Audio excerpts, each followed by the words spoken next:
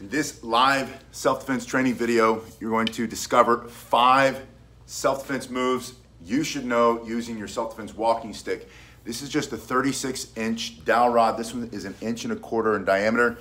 You can pick up a dowel rod like this from any do-it-yourself store or like a Home Depot or a Lowe's hardware store. A little bit of sandpaper, a little bit of oil. You've got flexible, strong, sturdy self-defense stick. This one's made out of oak. I Put some links below if you want to see what the materials are that you need to make your own self-defense walking stick. First thing I want you to do is stand behind your stick. So the stick is here, you put it between you and the threat, and you're gonna slide your hand down the front and point it right at the threat. This is the first of the five self-defense moves you should know with your self-defense walking stick.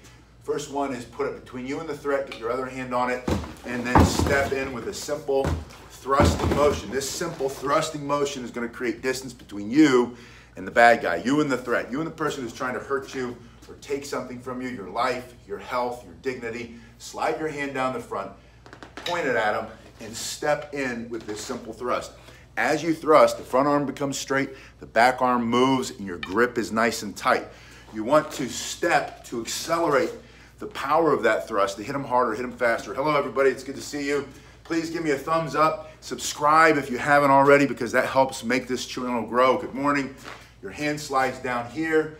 Pick it up here, step and thrust. If you have something to strike, you can practice striking, but if you don't have something to strike, keep practicing striking in the air. Hello, Gabriel, it's good to see you. Thank you. All right, so number one, hand slides down here, pick it up, put it between you. The second of the five self-defense moves you should know with your self-defense walking stick, your hand is going to slide down the back. From this position, you're going to pick it up into a thrusting motion a punching motion. You're gonna go straight into the nose, the teeth, the throat. Good morning, Doug. Into the solar plexus, right into the middle of his body. It's immediate, direct, and explosive. When you take a step, you're gonna create more power more quickly.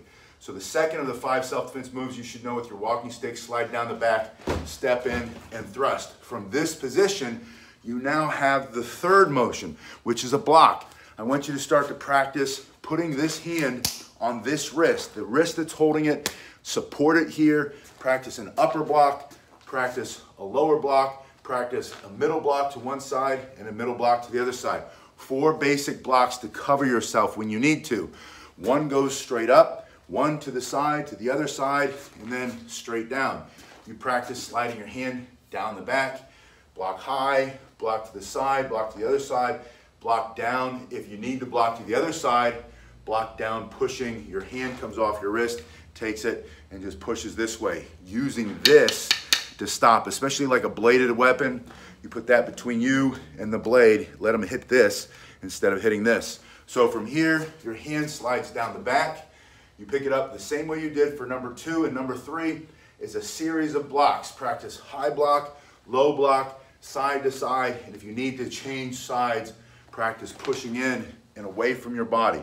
Always move that attack away from you. Good morning, Matthew. It's nice to see you. So for review, number one of the five self-defense moves you should know with your walking stick, slide down the front, point it, get the other hand, step and thrust. Create distance between you and the threat. You're targeting his eyes, nose, mouth, throat, solar plexus, anything you can remove or destroy for self-defense. Number two, sliding down the back and step in with a punching motion using this part of that hard piece of wood to go into the nose or the throat or into the solar plexus, down into the groin, into the private parts so that you're striking with this part. Number three, from this position, see how that's locked on your arm?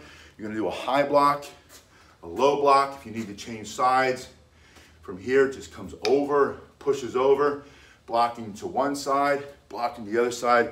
Your other hand is here on the back of your wrist for support. When you get your two hands together, you're gonna be very powerful, very strong.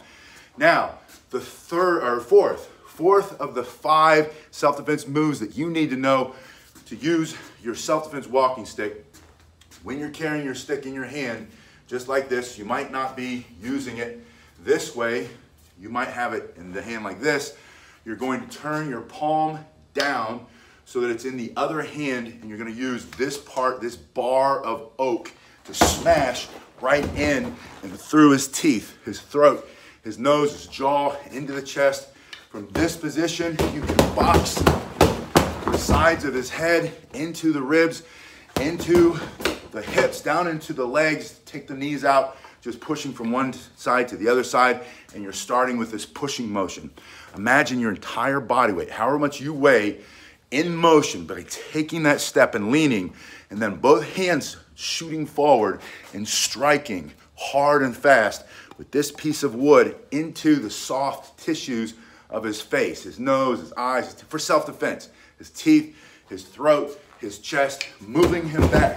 And then once you strike five, six, ten times, then pushing from side to side and using it like a battering ram against his ears, against his neck for self-defense.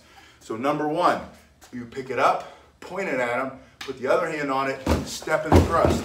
Number two, your hand comes down the back and you're gonna punch it like that. Number three, starting in the same position, getting it tight against your arm, pushing your hands up to block high, push your hand down to block low, block against one side, block against the other side.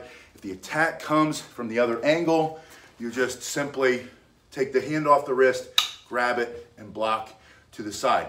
Now you can practice blocking, you should practice blocking, but don't focus on blocking so much. Blocking should be last case scenario, right? Best case scenario is you hit him before he hits you. When you know the threat is imminent, you must defend yourself, step, pick it up, and get that strike right into the nose.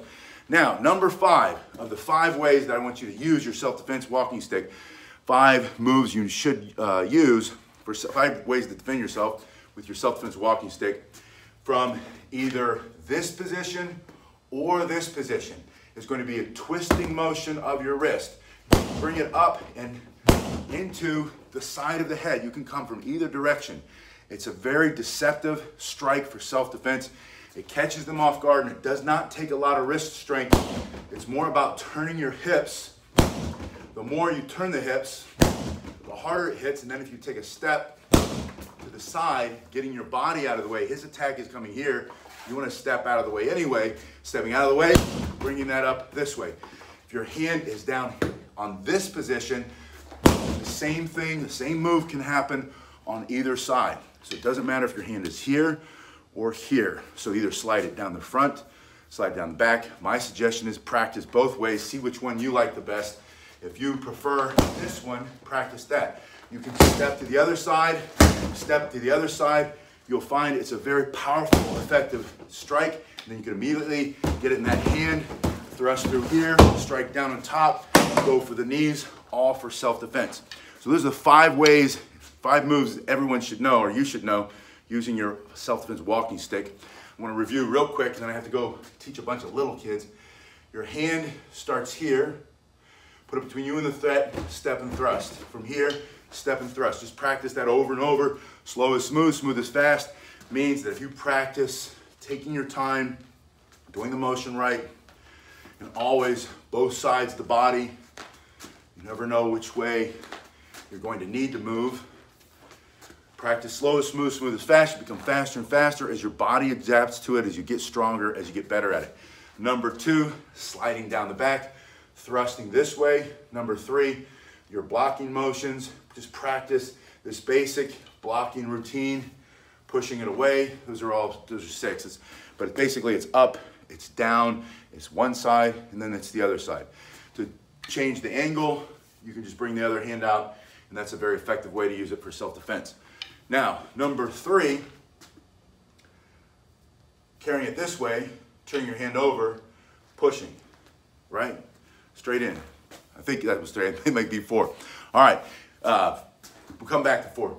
Striking number five up to the side, either with your hand down the front or your hand down the back in that position. So that's either four or five. I'll have to go back and rewatch it. Let me know in the comment section below, which one do you like the best? Which ones did I miss? There, there are so many ways to use this for self-defense. Um, hello, Patrick. Patrick's in sunny Slovakia. It's beautiful here today too in sunny South Florida. You guys have been awesome. I will see you in just a little bit. I'm to go teach a bunch of three-year-olds.